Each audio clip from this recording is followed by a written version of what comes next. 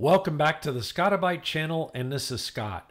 So, over the last couple of days, I've received messages from subscribers saying that, well, whenever they run Docker applications, they always seem to have problems. And so I, that prompted me really to take a look at an idea of how to run Docker applications more easily. And so many people do find Docker kind of complicated. And really, when it comes down to it, it shouldn't be. It's got some pretty basic components. And we're going to go over those. And we're also going to do a couple of demonstrations to hopefully sort things out. So, Docker is application virtualization. That's opposed to a virtual machine that virtualizes the hardware, it virtualizes the operating system, and it virtualizes the application. And then there are LXD containers that I talk about on the channel all the time, and they virtualize the operating system and the application, and they use a shared kernel of the host. So Docker is simply application virtualization alone, and therefore it's very lean and efficient. So Docker components to know are stacks, containers, images, volumes, and networks. And we're going to look at all of those here briefly. So Docker stacks are data structures that sit above containers and manage the orchestration of multiple containers. An application can have one or more containers. A Docker container may contain multiple Docker images, which are files used to build a Docker container. Volumes are the place where non volatile data is stored and Docker networks allow containers and stacks to communicate with each other in a private NAT or exposed to your main LAN. So, how exactly does Docker work? Well, application stacks and containers are read only and do not keep any persistent data after the Docker application is terminated.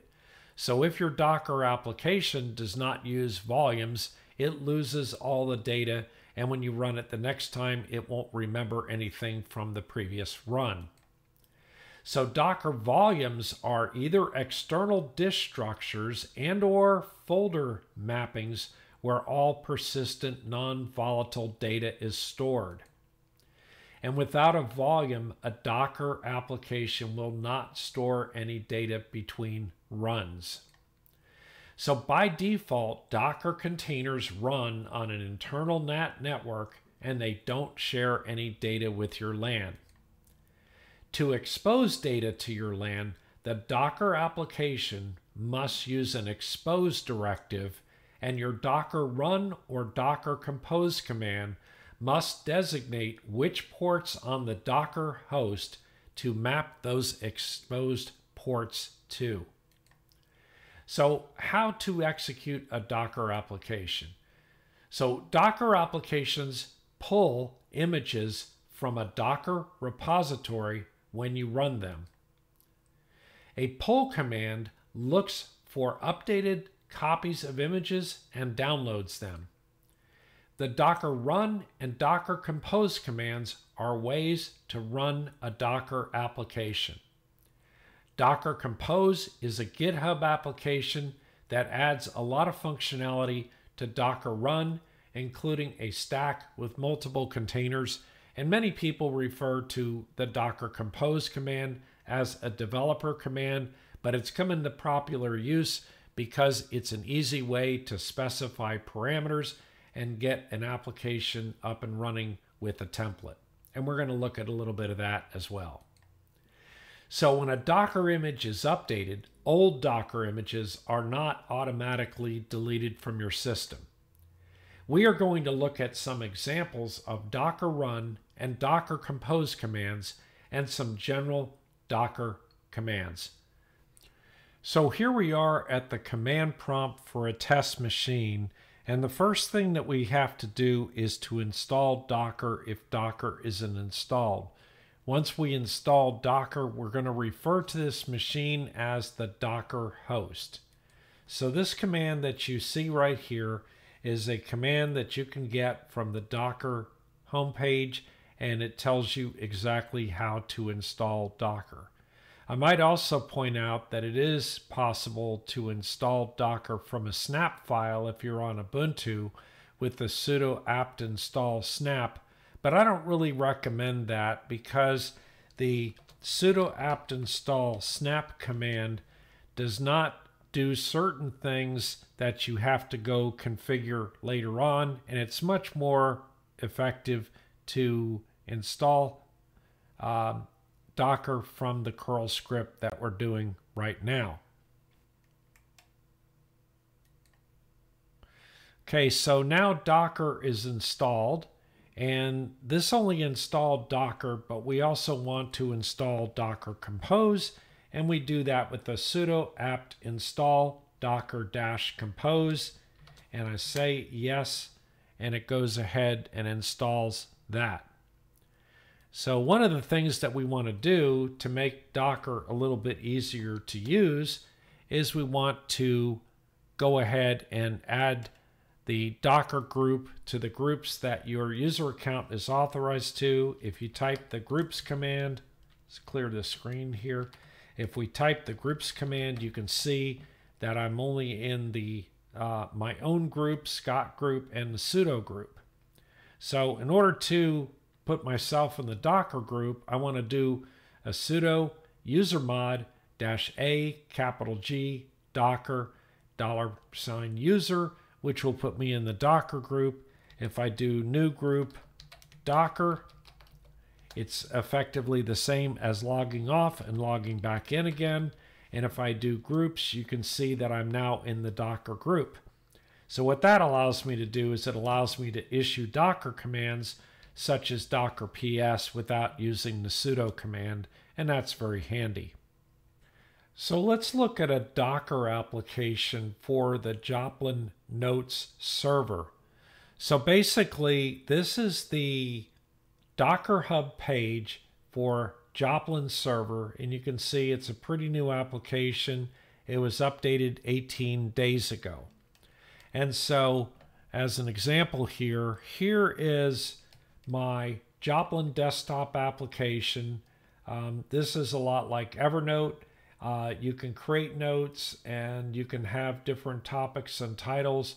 And this is how I store my personal notes and notes for shows when I get ready to update things. So what the Joplin server does is it synchronizes those notes from desktop clients, tablets, phones, and so on back to the Joplin server. So this is a very simple um, application. Usually if you scroll down on the Docker Hub page, they will give you an example of uh, the Docker run command to install this application. So let's go here and look at what it will take to install that particular application.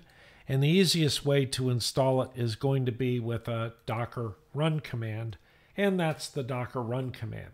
So it's docker run, and it's pointing to an environment variable file called .env, and that's where it expects to find your environment variables, and then it's using port 22300 to communicate and do its um, uh, configuration, uh, its web page, and so on.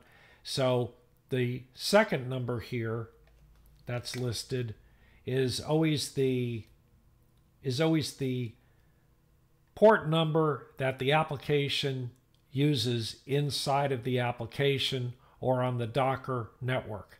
The port here to the left side is a port that you can change because you don't want to change the port inside the container because that's what the programmer used, but you can change the port outside to be any other port you might want to use if you've adjusted the application to uh, compensate for that in some cases. So uh, this says that port 22300 would be exposed to my Docker host, and that's how it would run. So it's going to go over here and it's going to download and run that application. So let's hit enter. And it says that there's no file or directory for the env file. So that's kind of interesting. We're going to have to go create a, uh, a folder for that or a file for that. So let's just say touch.env and that'll create a file called .env. So let's go to our, try our docker run command once again. Let's see what happens. So now it says unable to find image. It's downloading the image and it's doing the pulls as you can see and it's extracting the file and then the last thing that it's going to do is it's going to go ahead and build the container. So you can see there's quite a few images. We have one, two, three, four, five, six, seven, eight images that comprise this one particular container. And we're executing those with that single docker run command. Now, due to the magic of video, and now that this is all completed, uh, you can see the docker run command, it finished all the pulls, and then we start to see some log files coming out to the console here, and it's saying when everything is taking place and how it's taking place. And it comes down here to the end and it says uh, maintenance completed in 0.31 milliseconds. So we haven't gotten a prompt back. And the reason we didn't get a prompt back is because we didn't set this image to actually run in what we call detached mode. But let's go see what this actually did.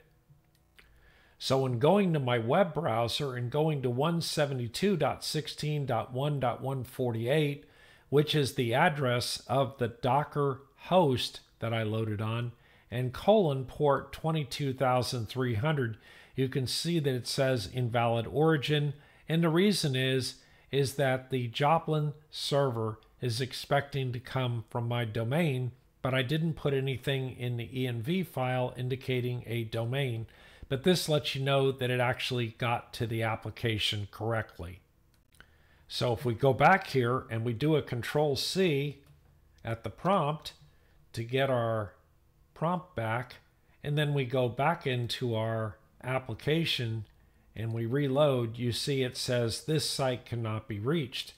And the reason for that is because we really wanted to do a Docker run like it said on the web page, but we want to put a dash D in here to detach the image. And when I add that dash D and it runs, it will give me the prompt back after it creates, meaning that the application will be up and running and we'll be able to log out and not have to continue to sit here and wait for the application.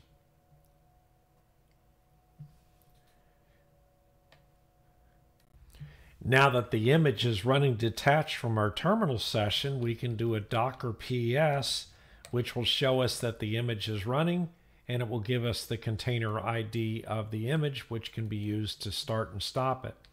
We can also use a PS-A, which will show all containers on the host, whether they're running or not, and you can see that apparently it also started a, another container in the background, and that was probably used um, just to bring the thing up originally, but it's a different container. So we have a container that ends with 989, and then we have this container here that ends in 177A, and this one's not exactly started. The other interesting command that we can do is a listing of the images. So we can do a Docker um, images and it says there's the one image out there. So we can stop a Docker image by doing a Docker PS to find out what the image is. And we can use its container ID here. So we'll copy this and we'll do a Docker stop on that image number and it will stop the application. You know that it worked if it responds with the container ID once again. And now if we do a Docker PS, you will see it returns nothing. If we do a PS-A, it lists the two container IDs that are out there, but neither one of them is currently running. So I moved over to my production Joplin server to illustrate a point. So first of all, if I do a Docker PS, you can see that my Joplin server actually has two uh, containers inside of it. One container is for the Postgres database, and we'll get into that here in just a little bit. And then my other container is for the actual Joplin server application. So now that I have these two containers in here, um, you generally don't have any problem with legacy containers that if you do a ps-a and you perform updates of containers, you generally end up purging the old containers. But what you don't end up purging sometimes are the old images associated with the containers. So, as an example of that, if I was to do a Docker uh, images, you would see that I have uh, the latest for the Postgres, the latest for the Joplin server, and then I have a couple of others for previous versions of Postgres and a previous version of the Joplin server. And you can see that these three are clearly not being used because um, I know that the latest images are the ones actually being used. And so there's uh, 377 megabytes in an image file and another 377 megabytes in an image file and 1.24 gigabytes in an image file. So one of the things you can do to clean that up is we can issue a docker RMI command and this docker RMI command will say uh, go ahead and list all the docker images with the docker images dash q which really just contains the uh, container or the rather the image ID and then I do an RMI which removes all those images. Now the thing about it is it won't remove a running image so we'll be safe because the running image of Postgres and the running image of Joplin server will be just fine when we execute this command. So it should come back and delete three containers or three images. And so no telling how many underlying uh, parts of those images exist. So you can see that it's actually deleting quite a few. And then it should give us an error message um, for the ones that it's unable to delete here shortly. And there we are, the two error messages that we got from the from the images it was unable to delete. So if we do a Docker images, we're only left with the two latest that are running. And this is one good way to clean up your Docker host from images that are no longer being used. So here I've reset my server again and Docker PS doesn't list anything, Docker PS-A doesn't list anything, and Docker images doesn't list anything because everything's back to where we started with a fresh Docker install. So at this point in time, I want to look at Docker Compose. So I'm going to do a nano docker-compose.yml or YAML if you like. You can use either one. And so it brings up the nano editor and I'm going to paste in my Docker Compose file. The reason I selected the application for Joplin server is because it has two services, or really two containers inside of it. One of them is a database, and one of them is an app container. So there will be two containers, as we noticed in the last screenshots. Um, so here, uh, this version number, generally your version number is 2 dot something or 3 dot something. And it kind of depends on the version of YAML code that the author used when they developed their application. And so you can generally find samples of YAML files or you can try to build one on your own. So briefly, looking at the database, we have an image here that's going to be Postgres and it says go get the latest Postgres database. So the latest Postgres database. And then volumes are dot .data forward slash Postgres and now what that means is that means that on my Docker host, it will have a, um, it will create a subdirectory called slash data where we run this application from. And inside that, it'll create a Postgres subdirectory. And then that points to inside the container slash var slash lib slash postgres uh, ql forward slash data. So you can't change what's to the right of the colon, but you can to the left. Same thing goes with the ports. It's using port 5432 and it's exposing that to 5432 on the host, and that's what the database is using. I have a restart unless stopped, which basically is self explanatory. In case of an error, it will restart itself. I give a Postgres password here, and then I have a user of Joplin user and a database user of Joplin DB which are duplicated in the section below for the app because the app has to know about the credentials. So you'd always want to, if you found this as a template, you'd always want to change these. And I just typed in something random here to use. So here's an app, another app, the second app, which is the image for the Joplin image.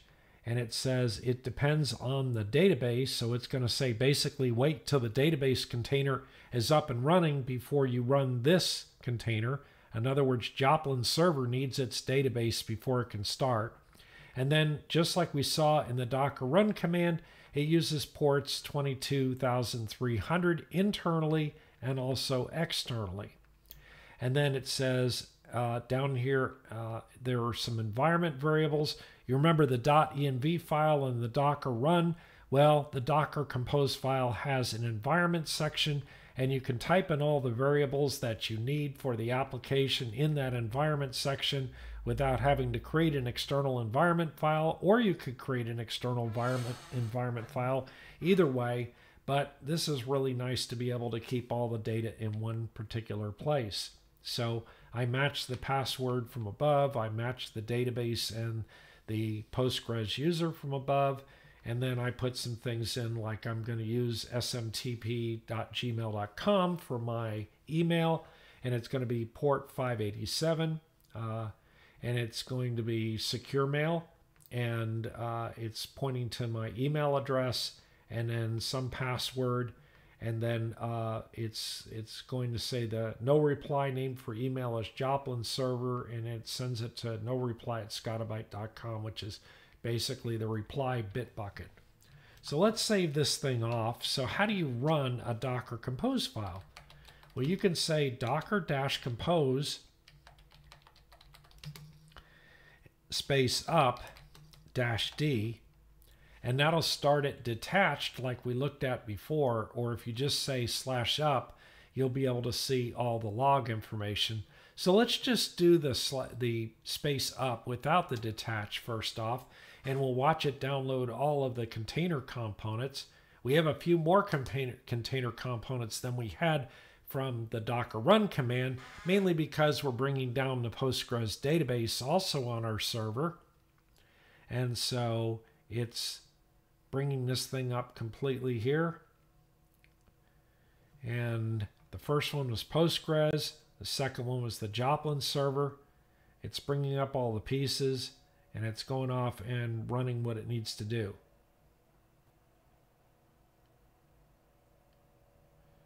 And now it's creating the database container from those images and it's creating the application from those images.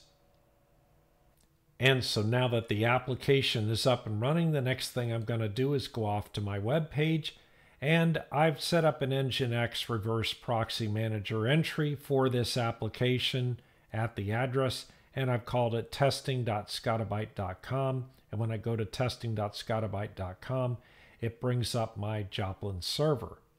Now, if we come down here, again, as a reminder, if we do a control C, it's going to stop the application and come back to the prompt. So if I come back up here again and refresh the web page, it says bad gateway because it doesn't know how to get to it because the application's down.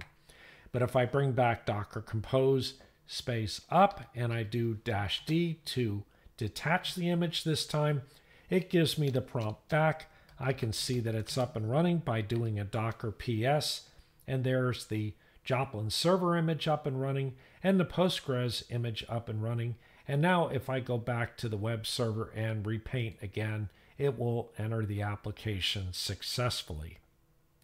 So now that my application is up and running, I can do a Docker PS as we saw before.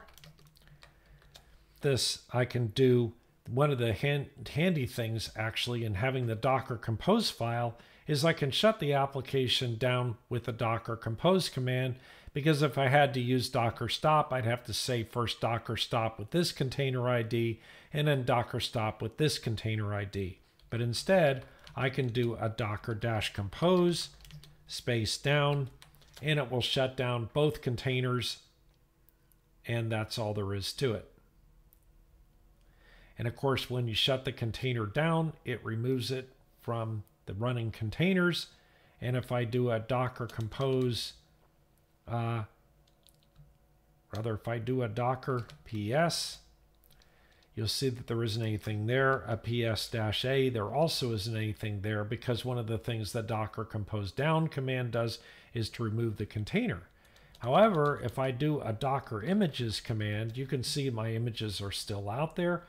And if I did a docker compose up command dash D, it would simply reload that configuration. It would not have to re-download the images because they're already on the local system and the application is up and running pretty quickly.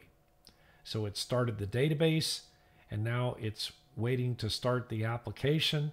And once the database comes online, the application will go ahead and start. And once we see it done here, we should be able to connect to it again. Okay, so if we go back to here and we repaint the screen, you can see that the application is still up and running just fine. So now that you know what images, containers, and volumes are, remember that volumes store your non-volatile data. The other thing that we want to look at is we want to look at Docker networks. So there's a command called docker network ls. And when you install Docker on your machine, you're going to get three networks.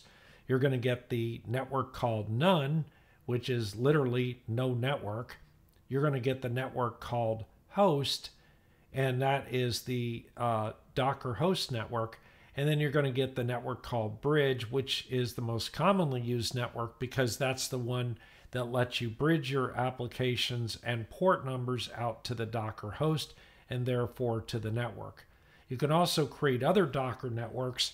And on my channel, I have some uh, instructions on some other videos that explain how to create Docker networks for VLANs. So now that we've covered that, the only other thing that we have is Docker um, is really Docker stacks. So Docker stacks are really related to clusters. So Docker can have multiple Docker hosts that run, and those Docker hosts can exchange data or they can actually run applications. And if one node goes down, it can migrate to the other node and that sort of thing. So we're not really going to get into uh, Docker clusters per se, but on our Docker host, we can create a Docker cluster with the command docker swarm init. And then in this case, since I have more than one um, IP address on my host, I want the advertised address of this cluster node to be 172.16.1.148. And when I do that docker init command, it says in order to add a worker node to this swarm, uh, do this, and it gives you a particular token. So that tells you how you can create another Docker node and have it join this particular swarm. And then you can also add another manager node. By default, the Docker swarm init makes your first node a management node. And so you can have more than one management node in your cluster if you so desire. But once you have a cluster, then instead of doing the uh, Docker compose command, you do a docker stack deploy command, but you point to the same docker compose file that we used before, and then I simply give my swarm a name, and my name is going to be Joplin, and this will go ahead and deploy this thing if it actually exists, but I forgot that I initted this thing before, so we have to go back and get a copy of my docker compose file um, that I had in the in my notes. So let's do a nano of docker dash compose dot YML. Let's see, let's make it YAML because that's what I made it appear in this other command. And let's paste everything into it. And we don't need to go over this again because it's the same command that I did from last time. And now we do a docker stack deploy on that file. And in this particular case, it started it up and it says unsupported options, restart, and okay, that's fine. But now that we've performed a docker stack deploy, if we do a docker ps or a docker ps-a, you notice that it does list what we have running here in the docker ps-a, but the proper way to do it when you're dealing with a Docker swarm or a Docker cluster is a Docker stack ls.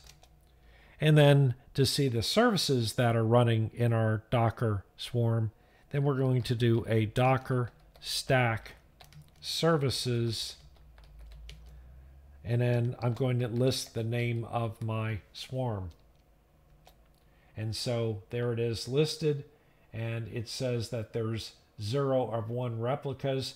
A replica is that you can say when you start uh, service, you can say that you want three or four of them running on this node for node balancing. And then on another node, you can describe how many you want running out there and all of that. So we don't want to get too deeply into clustering or Docker swarms, but I thought I would just whet your appetite and let you know that the Docker stack is another um, managing system that falls above containers uh, for container orchestration. In summary, Docker containers are virtual applications that are created from Docker images. The Docker run, Docker compose, and Docker stack deploy commands are used to pull images from the Docker hub, create containers, and manage them. Docker Compose and Docker Stack Deploy require a properly formatted YAML file in order to execute. And most errors with deploying Docker applications are spacing and formatting errors in the YAML file or incorrectly mapped ports. Anyway, that's it for today. Please subscribe and like to the channel, and don't forget to hit that notification bell, and we'll see you next time.